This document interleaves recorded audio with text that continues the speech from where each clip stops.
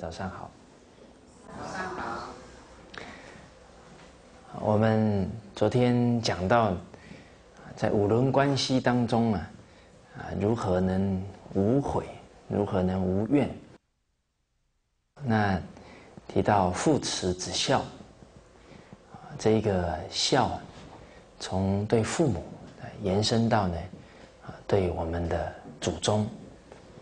这一份替呢，啊，也延伸到，对我们的所谓炎黄子孙呢，所有的同胞。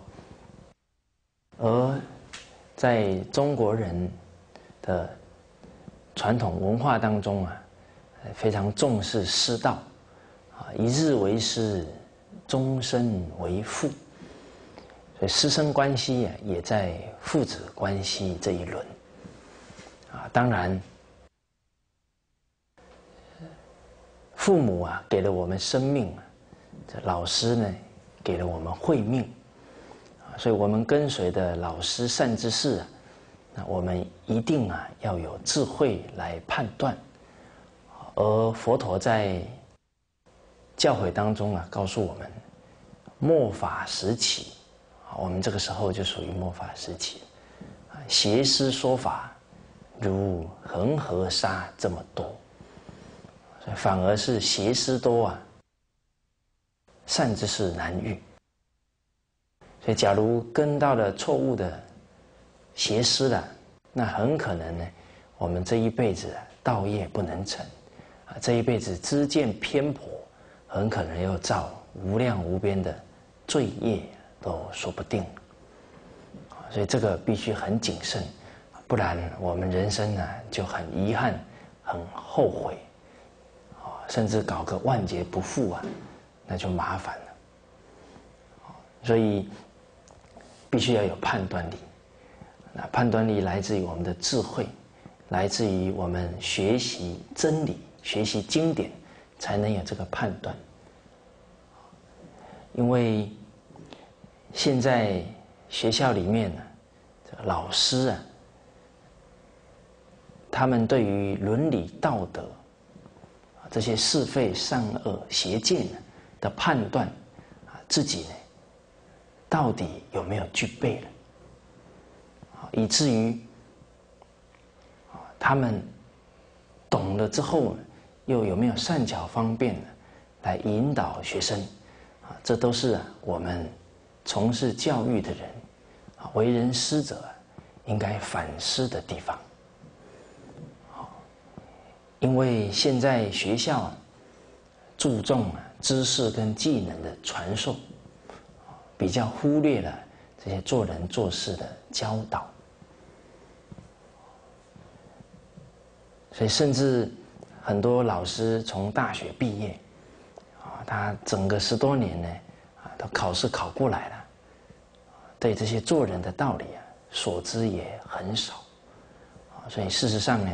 老师们呢，都应该啊，在着重于啊这些仁义道德的学习，这样呢，我们才无愧于啊这一份志业，这一个行业啊。因为韩愈先生讲，师者，传道授业解惑也。啊，这个传呢，一个最重要的基础啊，传伦常之道。那老师自己呢？那也要做个孝子啊。老师自己夫妻要和乐啊，这样才能把正确的处事这些道理传给学生。我们自己做不到了，只说不做，那是骗人啊！那无法摄受，无法真正感动啊我们的学生。所以老师们呢，也都要来补啊这一课做人做事的。这些圣贤的教育，啊，这都是刻不容缓，啊，因为假如我们不懂啊，那很可能教一年呢，会误导学生一年都说不定啊，啊，所以我们有心踏入教育界呢，就是希望能真正利益孩子的人生，我们绝不愿意误导学生，啊，所以有这一份心啊，更应该精进学习这一些道德学问。有一个研究生呢，他读书呢读了十七八年了，所以觉得读得很苦。啊，有时候他们栽在这个书堆里面找资料啊，啊一找呢，这半天出不来。好，然后他们这个时代写论文呢，有一个方式呢有待商榷。啊，就是去找一篇最好的论文，然后批判它。这一篇好的论文呢，好的我们都还没学到了，尽想着如何批判这一段论文。所以那思想观念啊，都很偏颇，好像见不得好事，见到一件事已经习惯了要挑毛病。哦，所以这个都这个方式的引导啊，都是有待。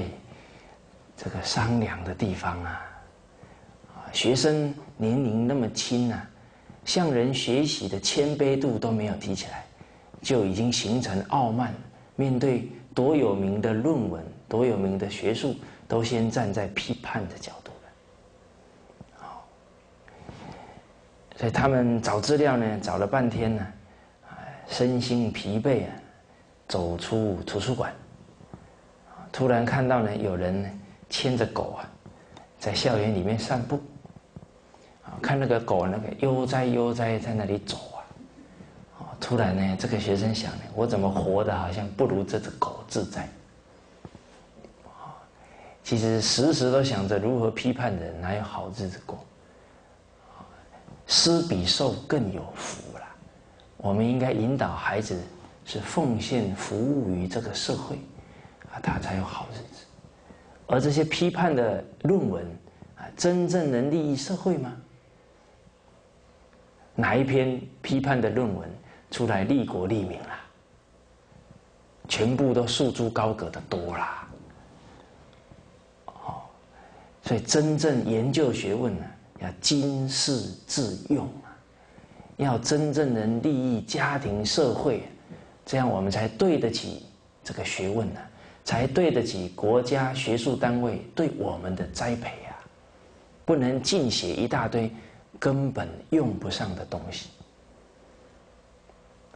那个都是民脂民膏啊，值得我们反思啊！好，那他就很苦恼了，结果又想起《论语》上面说的“学而时习之，不亦乐乎”啊！明明学习是快乐呢，我怎么学那么痛苦？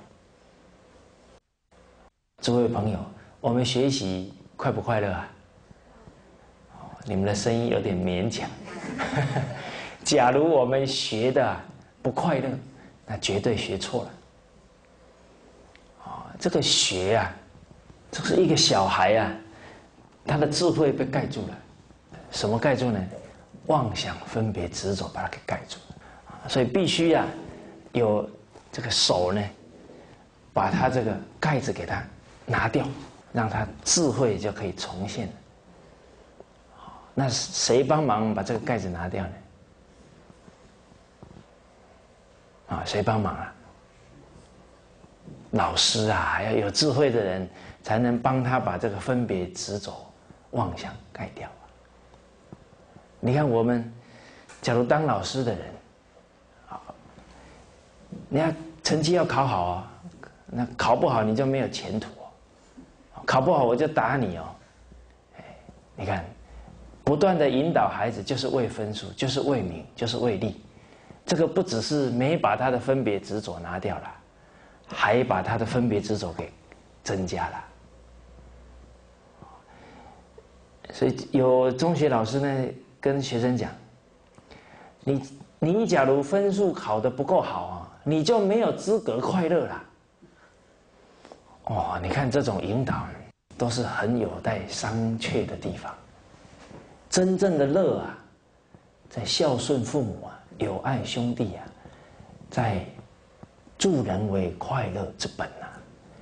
假如孩子所有的眼光都只在分数上，他会斤斤计较，他哪来的快乐啊？我说的这么顺呢？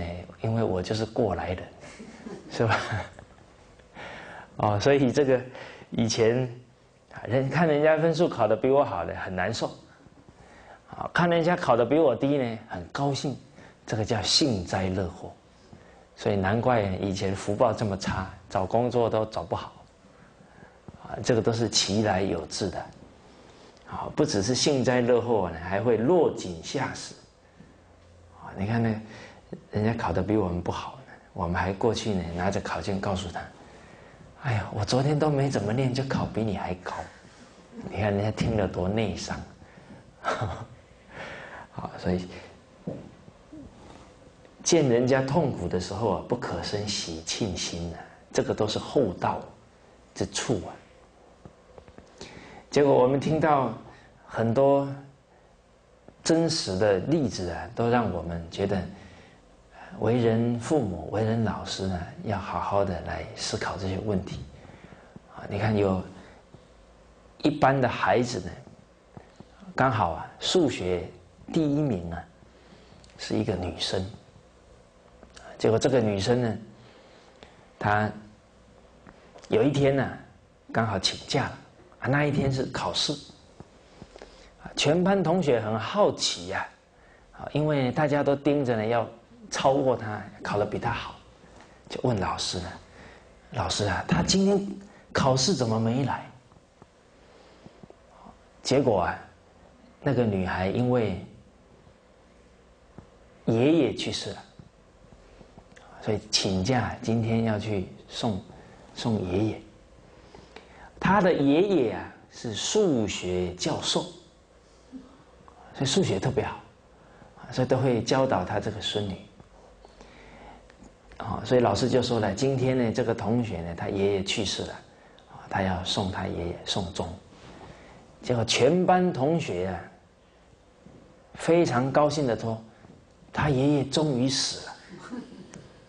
你看哦，人家死的爷爷啊，一点怜悯心都没有，想到的是啊，我的机会来了，我可以考的超过他了，他终于不在了。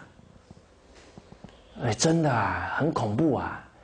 这个名利呀、功利呀，会让一个人的怜悯心、爱心完全看不到。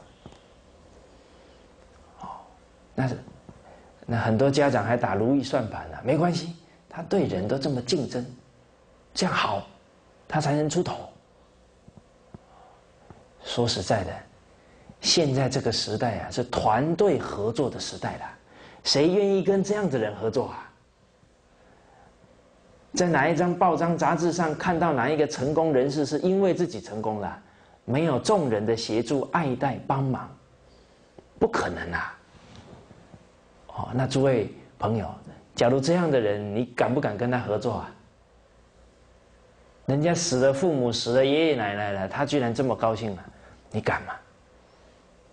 所以，当老师听到学生高兴的反应啊，全身起鸡皮疙瘩。说我到底在教一班人，还是教一匹狼啊？但是反过头来看呢，学生为什么这么在乎成绩啊？我们父母、老师啊，有责任呢，要反省啊。好，那这父母的如意算盘呢，也不要这样打了。你说啊，他出去呢，都跟人家竞争，跟人家斗。那回来呢，好好孝顺我就好了。那没这种事啦，啊，他的心计较了，是对一切人呢都会是这种心态的。那最亲的人，当然是受到的伤害就最大嘛。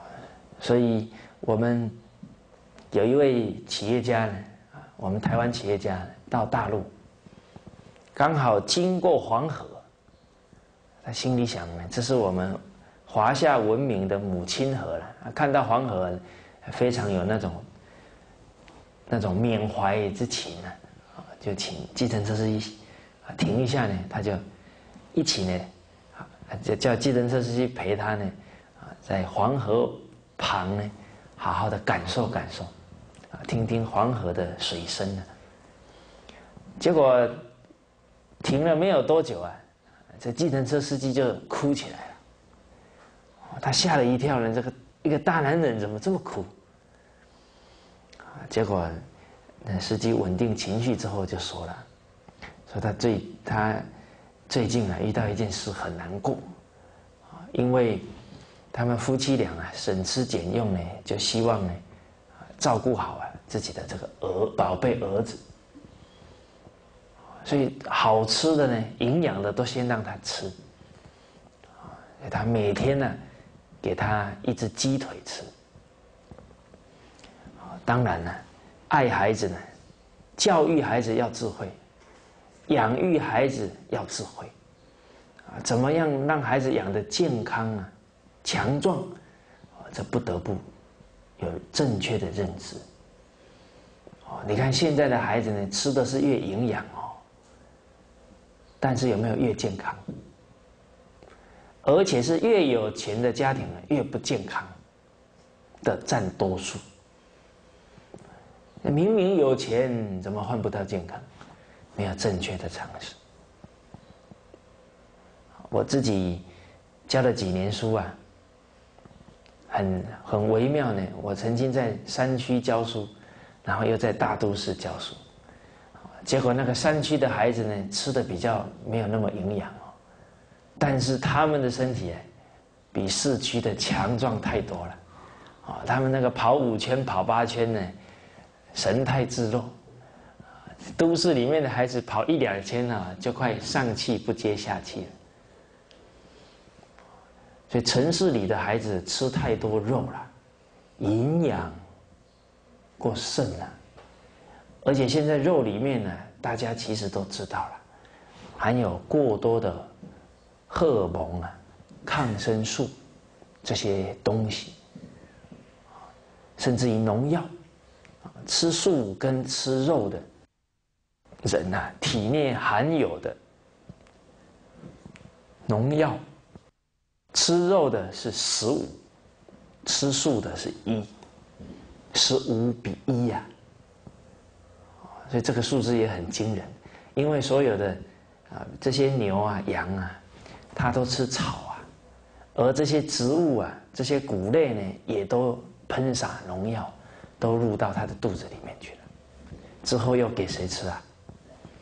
又给人吃了，好，所以除了农药以外啊，这个荷尔蒙啊也很麻烦，啊，吃了太多荷尔蒙啊，人的生理啊病变。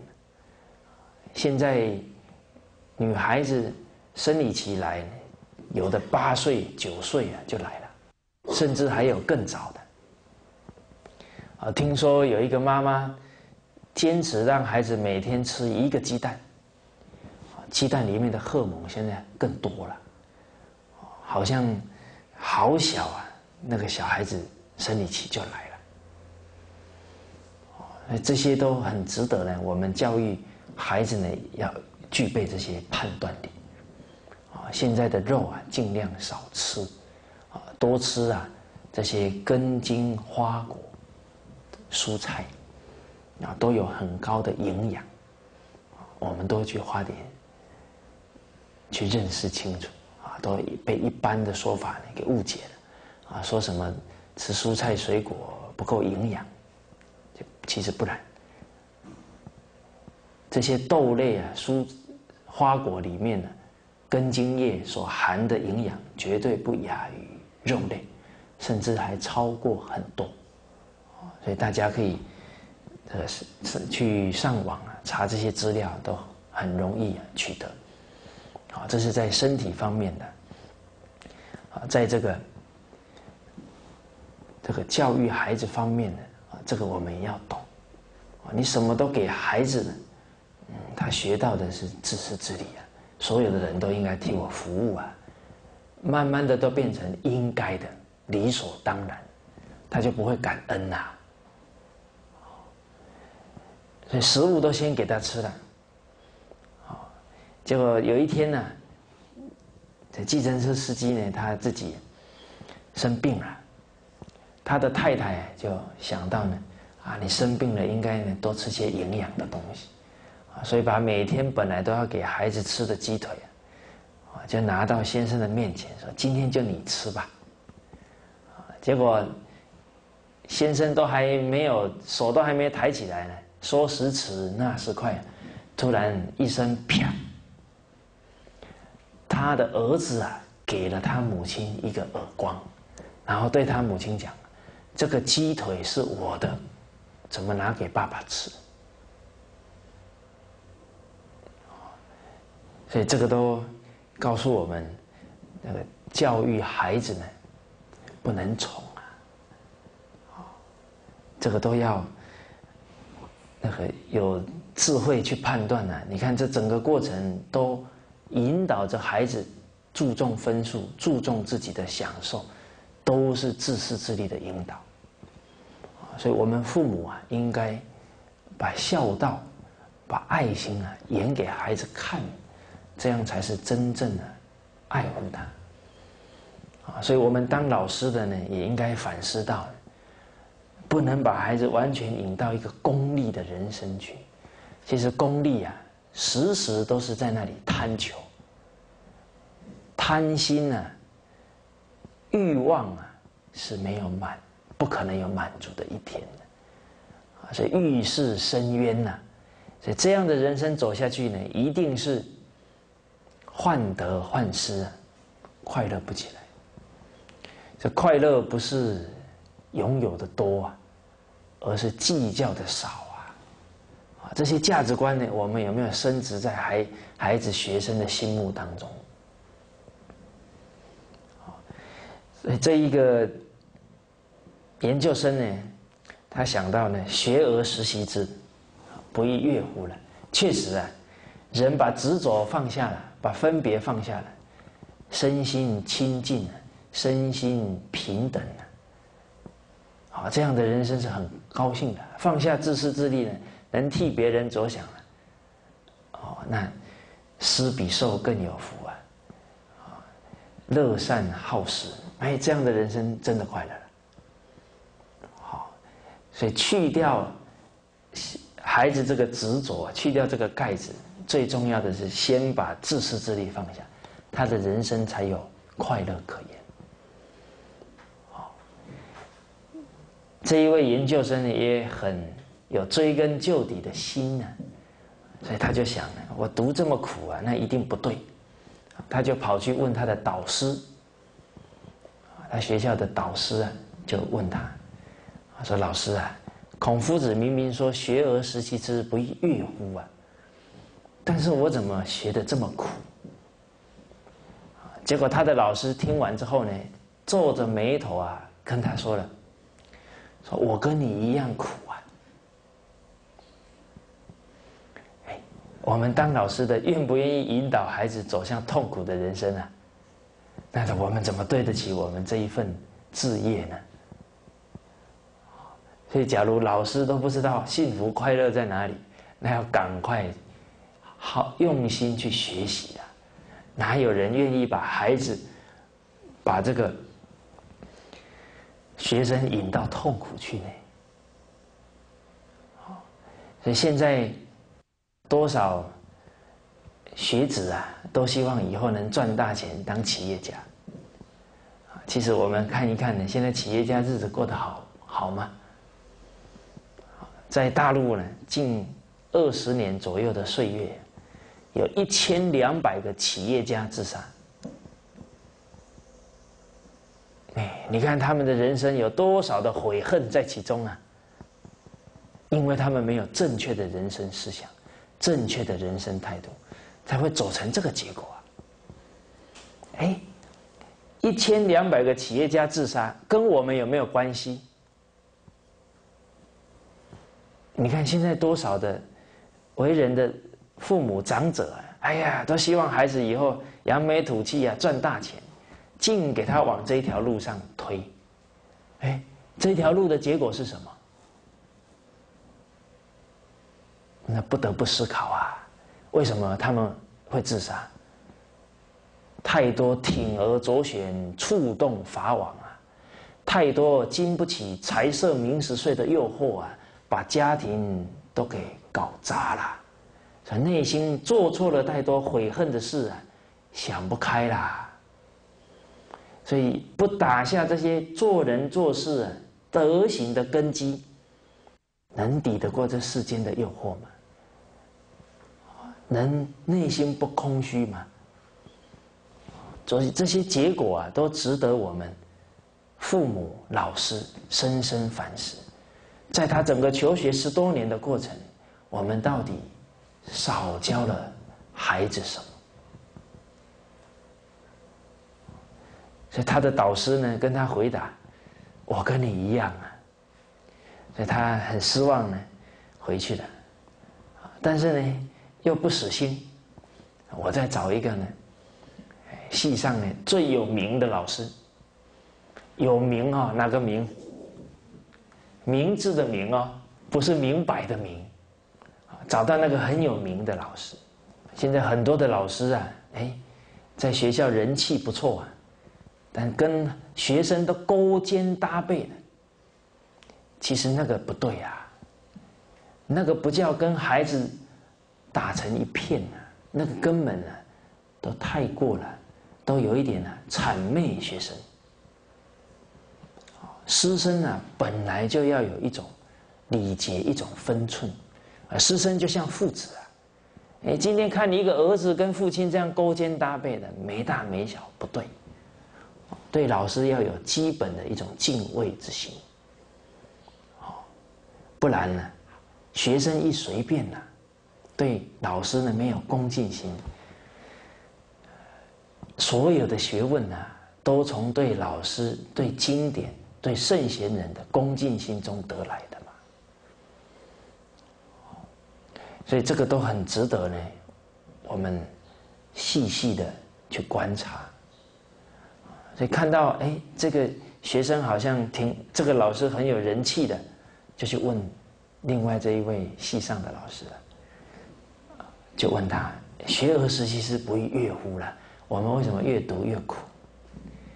结果，这个老师想都没想，坚定的告诉他：人生本来就是这样。哦，那个意思就是说，人生苦是正常的，不苦才不正常。所以这个时代倒过来了，对的变不对了，不对的变对了。所以这个时代呢，佛陀交代啊，依法不依人呐。经典讲的是人生的真相呢，不是现在谁想说什么就说什么啦，那很可能都是错误的引导人生的价值观的。所以孔夫子讲“学而时习之，不亦乐乎”啊，那是真的。人学了，人明白了，人觉悟了，理得心安，是一定快乐的，一定不跟人起冲突的。但是。错误的思想就不断的增长我们的自私自利，增长啊，去跟人争，去跟人斗，那得不到了当然痛苦啊。所以这个时代啊，我们自己要去判断什么样的善之事啊，才能够去跟随，不然跟错了，整个人生方向啊都误导了。啊，所以我们曾经呢。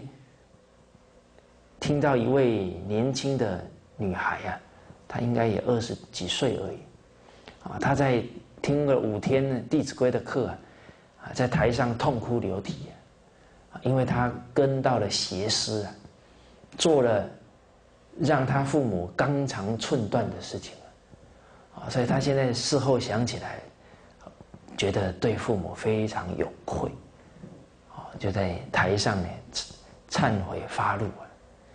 然后接着他说到呢，他说：“假如我先学《弟子规》，我就不会被邪师误导，因为《弟弟子规》一开头就告诉我，入则孝，绝对不能呢做出让父母如此伤痛的事情。所以真的哦，一部正法的经典呢，可以开人的慧眼，分辨是非善恶好坏，啊，不然他。”掉入这个邪师的这个错误的思想里面呢，那就很麻烦了。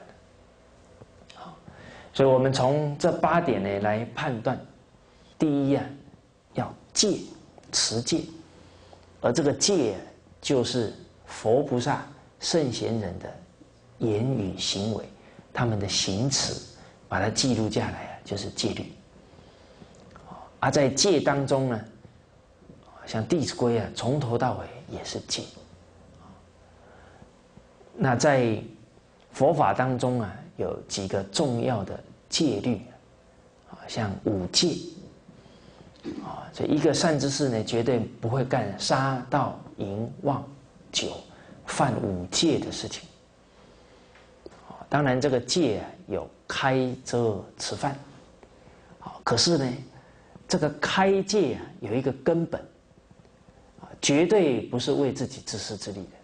这个开戒不离啊，慈悲众生。啊，这才能开哦。那比方妄语。啊，妄语啊是不好的，但是不是那个妄语的动作不好，它根本上啊是心地是欺骗他人、陷害他人，这个心地啊是错的。然后再讲出那妄语来，啊！但是，假如这个心地啊是为了对方好，让他不要再犯更严重的错了，啊，或者是当下呢不要让他太伤心了，这个善巧，这个从是从慈悲啊，是为对方设想的心出来的，这个叫开戒。在公案里面呢，最明显的有一个猎人呢。在追一只小白兔，结果这小白兔呢是跑在前面呢，啊，被一个人看到了，啊，这小白兔呢往东边跑了，结果这个猎人跑过来就问这个人，哎，小白兔刚刚从这里经过，它往哪里跑了？啊，这个猎人说往西边去了，他有没有妄语啊？哎这个叫开戒啦，所以让他往西边去了，这叫圆满了，这叫利益所有的人了。今天，哎，让这个猎人往西边去了，他就不会犯杀戒了，不会再造罪业了。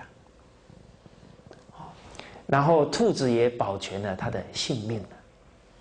所以有高度智慧的时候。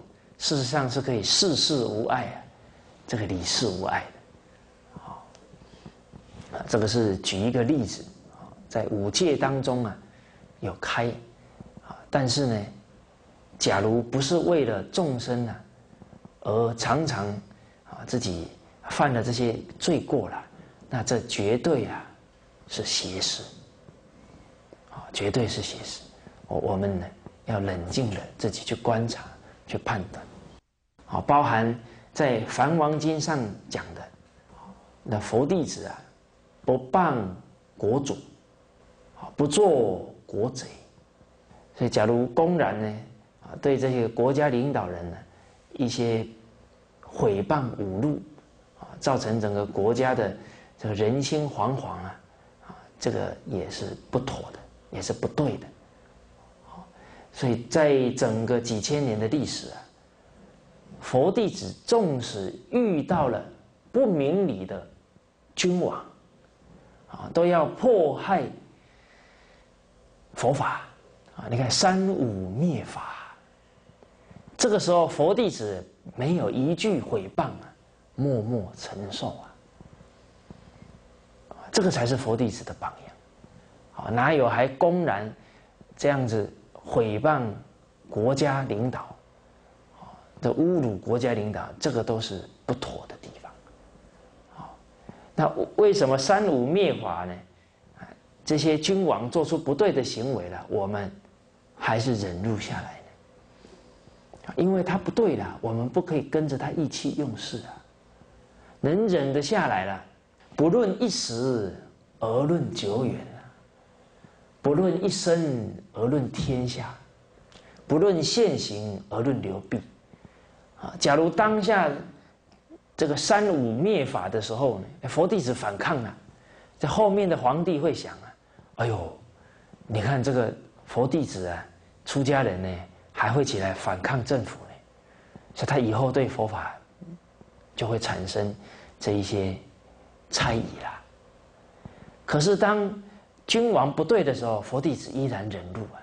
啊，等这个时期过来，后面的皇帝讲啊，哦，这个佛弟子非常的善良，非常守法，啊，这是社会安定的重要力量，马上又把佛法复兴起来了。所以这个都是很重要的教诲啊！不谤国主，不做国贼，啊，《璎珞戒经》上讲的，啊，不漏国税，不犯国制。这守一个地方的规矩，哦，那我们自己佛弟子呢？假如开车呢，常常闯红灯，你看呢，坐在旁边的这些亲朋好友，那看了呢，对我们学佛都打个问号了，啊，所以确实还是要不犯国制，啊，给世间人、给社会大众做一个好的榜样，这个是。戒的部分，第二个多闻，就是好学，就像孔老夫子讲的，啊，他学而不厌，啊，学习啊，从来没有厌倦，而这个学习没有厌倦呢，他的根本动力啊，还是在慈悲为本，这个善知识的内心，时时呢，把众生无边誓愿度放在心上。啊，生怕自己呢学习的太懈怠了，太晚有道德学问来帮助大众。啊，所以《华严经》上讲呢，要勇猛精进，度一切众生出生死海。啊，这个就是好学多闻。《华严经》末后呢，善财童子五十三参呢，这五十三参也是也是表好学不倦。而且这个好学呢，是能向一切人不同行业啊、不同年龄层的社会大众，都有一个向学好学之心。第三是正啊，他真正呢要契入那个境界了。所以我们这个在师父很多的教诲当中啊，师父是真正的给我们表演出来了。处逆境随恶缘，不起成慧，业障尽消。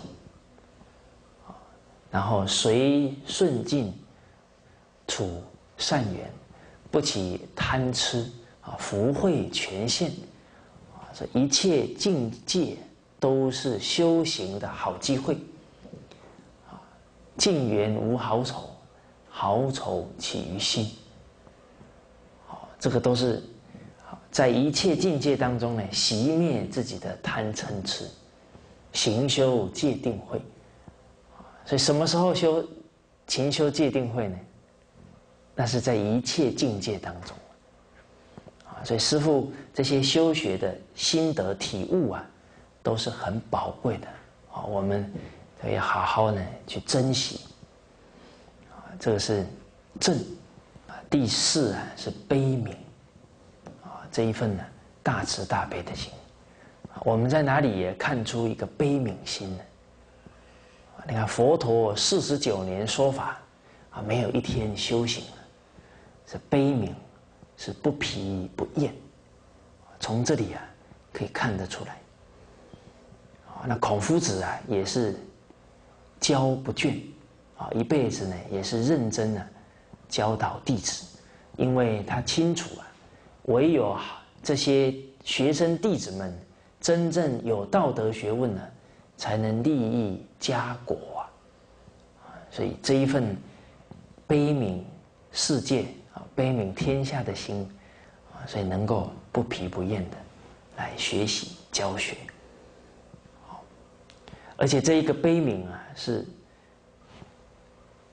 平等的悲悯，不只是对人啊，对一切众生呢，都是这样的心境。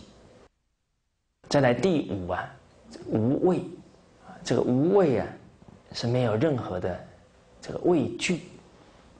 那诸位朋友，我们现在生活当中啊，有没有哪些畏惧啊？有没有哪些境界会害怕？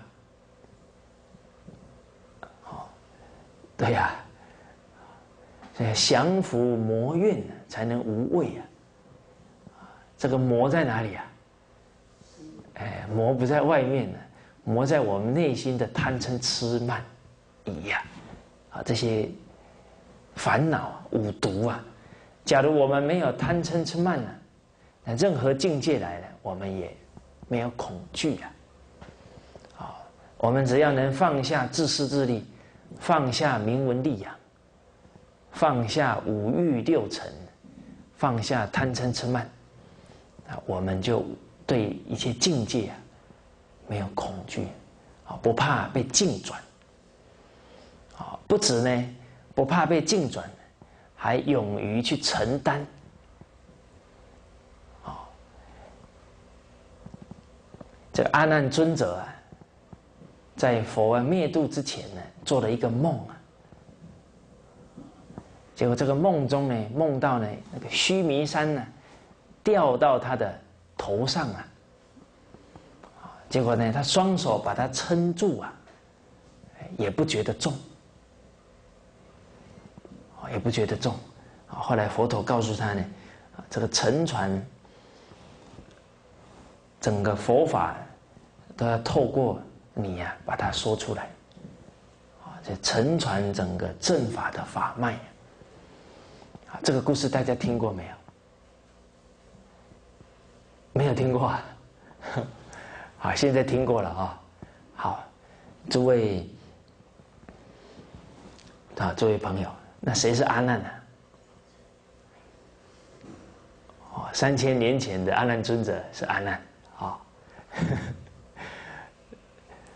哦，你看这个《地藏经》上讲啊，佛陀呢，摩地藏菩萨顶，告诉地藏菩萨。啊汝之威德，汝之慈悲啊，都不可思议哈！啊，那我灭度之后啊，到弥勒菩萨来呢，这一段时间呢，好，就交给你了，不要让众生呢堕到三恶道去了。啊，这个摩地藏菩萨顶呢，给摸，给地藏菩萨摸头啊，好多次哦，交代了这件事哦，交代了好几次。那我们看了也很感动哈！你看地藏菩萨这么有担当。好，那诸位朋友，谁是地藏菩萨？啊，那些《地藏经》嘛，地藏菩萨嘛。你看推得一干二净。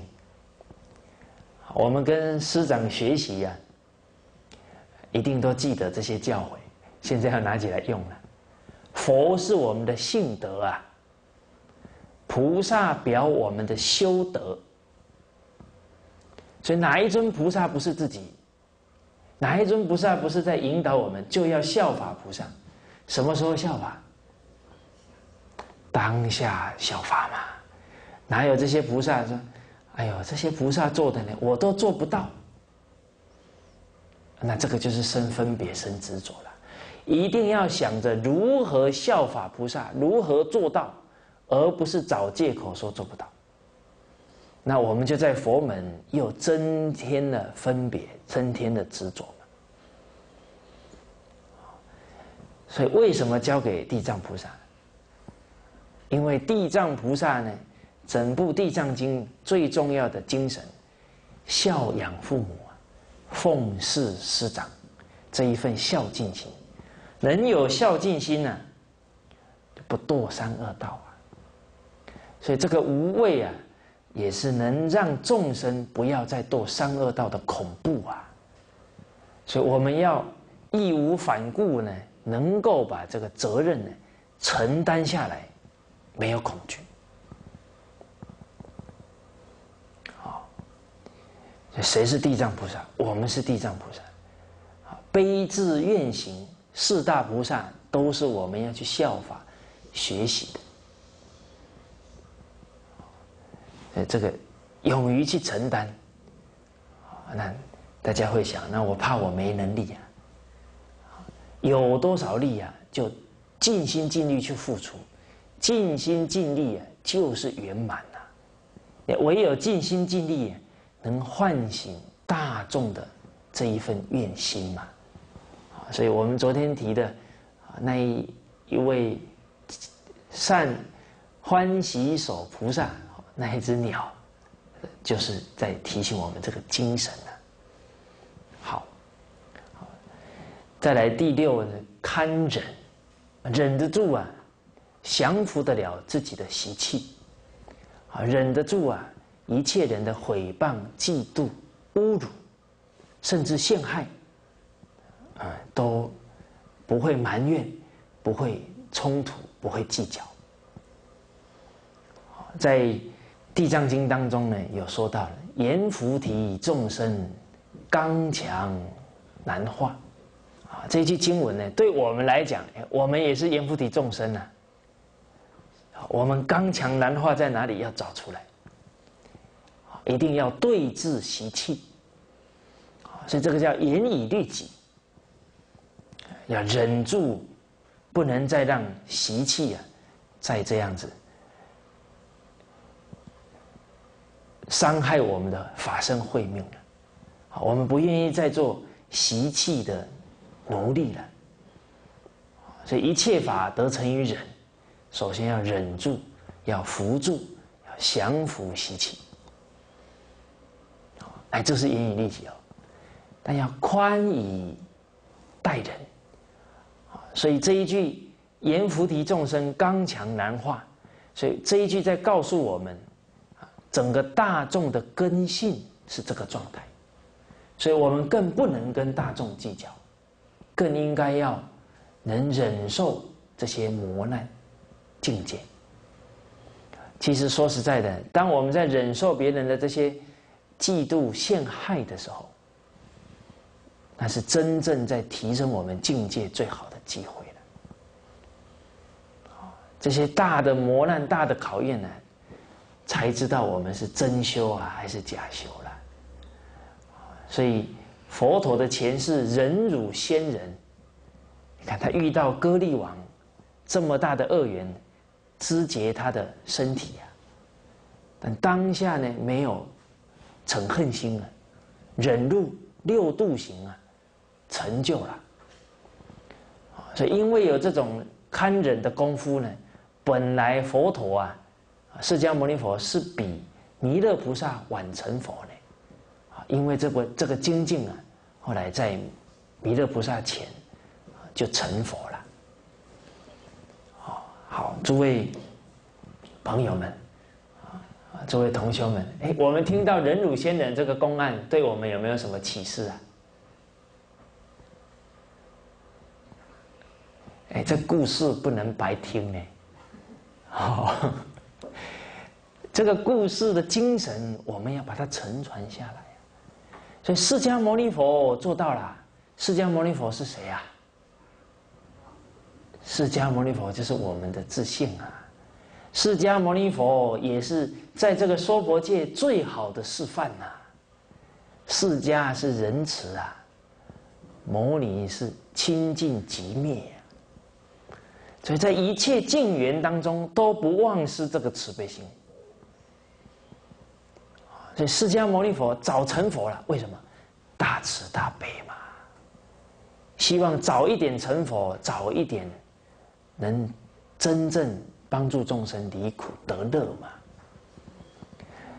所以我们如何早成佛？越难的境界来，越是我们修学的机会。所以感谢困难，感谢挑战呢，怎么还会成恨呢？所以这个堪忍呢，就可以做得出来了。第七无倦，啊，这个没有厌倦，啊，不疲不厌，这一个好的善知识啊，那是真正的都能够奉行力行。这个在这几年来呢，我跟着杨淑芬老师啊，在大陆呢推展中国文化，这老师真的是。无倦啊，不疲不厌。假如隔天啊要坐飞机啊到其他地方去，啊，在飞机上呢可能得坐个三五个小时，这个老师都会想呢，在飞机上呢有这一段时间，所以我前一天呢就多干一些活，啊，都干到天亮，然后呢上飞机睡觉，这舍不得浪费时间。所以我有几次呢，跟老师坐飞机啊，哦，真的功力啊很高，啊，那个一上飞机啊，飞机还没飞呢，就已经睡着了，好，然后一路睡到那个飞机着陆了，啊，到达目的地这样空，落到地上了哈，哎，就醒过来了。这，一分一秒都没有浪费掉，所以真的是，也还是这一颗慈悲为本的心啊。最后是善语句，这个言语啊柔和，言语有智慧，啊，所以这个善语啊是能时时呢抓住善巧方便呢，把学生呢把他人的善根给唤醒。啊所以佛陀啊，面对一个杀人魔王要伤害他了，啊，佛陀还是坚信他是他的佛性啊，啊，所以看着他，对着他还是说着忍者，啊，你止步吧，还是尊称他忍者，还是非常柔软的言语，由于这一份真诚信任呢，把这个杀人魔王的。这个善根给唤醒了，好，哎，这个善语句呢，有时候另外一个情景呢，必须呵斥学生呢，把他给唤醒，啊，那那也是善语啊。所以有一次，这个有一个学生呢，刚好呢身体啊快不行了，还想着要见佛陀，所以又走不到金色了，就。